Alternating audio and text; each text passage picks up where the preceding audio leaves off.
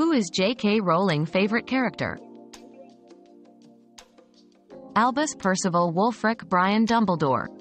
Every so often, J.K. Rowling treats her loyal Twitter fans to a little bit of Harry Potter trivia and yesterday she was at it again, this time revealing her all-time favorite character, minus Harry of course, that'd just be a bit of a cop-out. Who was it? It was Albus Percival Wulfric Brian Dumbledore, naturally.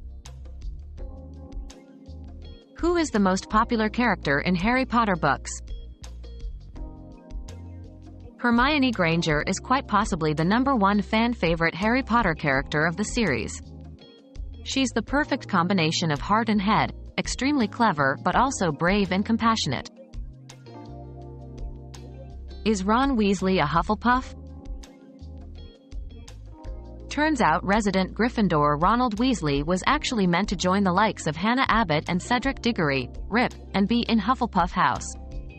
Using Pottermore's very own digital sorting hat, Rupert Grint discovered he's been living a lie all these years.